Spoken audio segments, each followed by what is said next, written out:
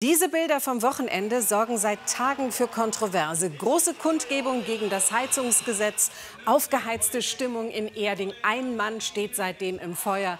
Der stellvertretende Ministerpräsident Hubert Aiwanger. Und zwar vor allem wegen dieser Aussage.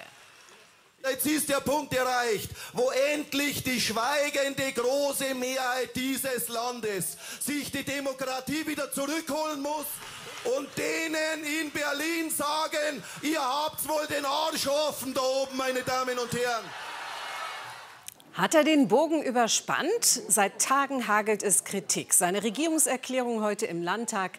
Kein Wort zu Erding, geschweige denn eine Entschuldigung. Die Opposition empört. Kolleginnen und Kollegen, sind solche Aussagen eines stellvertretenden Ministerpräsidenten würdig und angemessen? Ich finde nein. Deswegen fordere ich den Herrn Ministerpräsidenten auf, Hubert Aiwanger aus seinem Amt zu entlassen.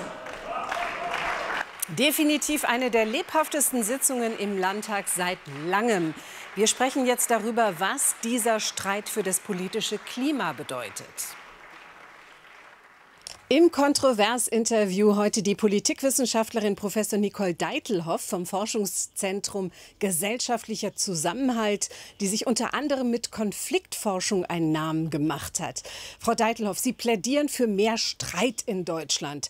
Ist also der streitbare Eiwanger eigentlich ganz in Ihrem Sinne? Nein, leider nicht. Also das, was Herr Aiwanger hier als Streitkultur vielleicht verkaufen möchte, ist eigentlich nicht das, was ich mir unter gutem Streit vorstelle. Denn dazu gehört, dass man sich im Grunde genommen an der Sache hart auseinandersetzt, aber die Person, also das Gegenüber, intakt lässt. Und genau das macht Herr Aiwanger nicht, sondern er geht direkt auf die Person und versucht sie zu diffamieren und abzuwerten. Und das ist alles andere als gute Streitkultur.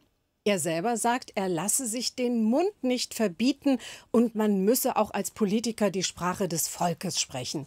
Wie sehen Sie das? Also ich glaube, man kann die Positionen, die in der Bevölkerung ähm, vorhanden sind, selbstverständlich aufnehmen. Man muss dabei aber sich nicht einer solchen Sprache bemächtigen, wie er das getan hat. Das führt nur dazu, dass man den Gegner beschädigt und letzten Endes auch eine Kultur, die wir ja in der Demokratie haben, nämlich dass man am Ende von harten Auseinandersetzungen wieder zu Kompromissen kommt, also wieder zueinander findet, verhindert. Wo ist denn für Sie die Grenze des Sagbaren, wenn ein stellvertretender Ministerpräsident mit seinen Aussagen suggeriert, dass wir nicht in einer Demokratie leben? Welche Wirkung hat das? Naja, letzten Endes verlässt er damit eigentlich den Boden des demokratischen Miteinanders, weil er damit sich eines rechtspopulistischen Narrativs bedient, das wir sehr gut beispielsweise von der AfD kennen. Also diese Idee, dass man sich die Demokratie zurückholen musste, weil sie irgendjemand ja weggenommen hat, gestohlen hat. Das sind normalerweise, wenn man der AfD zuhört, die korrupten Eliten und von denen muss man sich eben die Demokratie zurückholen. Und das verlässt ganz ernsthaft den Boden des gesellschaftlichen, des demokratischen Miteinanders. Da ist für mich die Grenze definitiv überschritten. Die Grünen und die SPD in Bayern, die haben die Entlassung bzw. den Rücktritt von Aiwanger gefordert. Aus Ihrer Sicht ist das konstruktiv oder destruktiv im Sinne einer Streitkultur?